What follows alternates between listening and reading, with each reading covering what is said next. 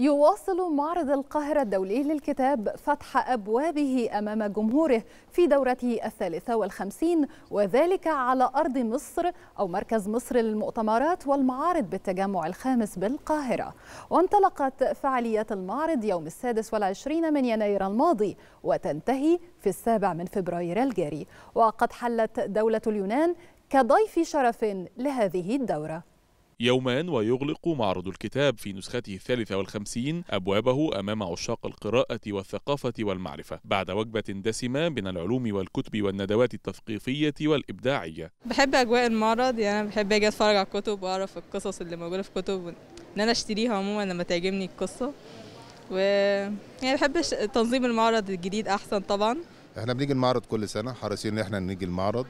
آه، بنشوف كل كتاب آه، تعجبنا قوي الأجواء بتاعة المعرض نفسها. طبعا هنا بقى في تلاقي اختلاف في الكتب كتير جدا وتلاقي الثقافات هنا مختلفة وتلاقي في كل قاعة ثقافة غير الثقافة تقدر في تنوع كتير جدا وكبير جدا في الكتب. وبالتزامن مع فعاليات المعرض المتعددة شهدت قاعة ضيف الشرف حضورا بارزا لمناقشة كتاب سنوات الخمسين للكاتب الراحل ياسر رزق الذي قدم خلاله شهادته على أحداث مصر في فترات من أهم وأصعب فترات الوطن. الأستاذ ياسر رزق آه، أعتقد أنه يصنف آه، كواحد من أهم الكتاب السياسيين وواحد من المحللين آه، للمشهد بشكل كبير.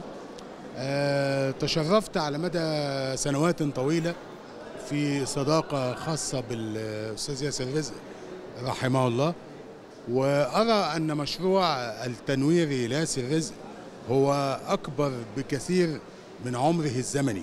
الأستاذ ياسر طبعا زي ما كل آه، المشاهدين الكرام عارفين كان شخصا استثنائيا في الصحافة والوطنية والمهنية. كان كنا نلقبه دائما بمروض الكلمات. الأستاذ ياسر كان واحد من أشرف وأنبل الصحفيين اللي ممكن تشوفهم الصحافة المصرية في مصر.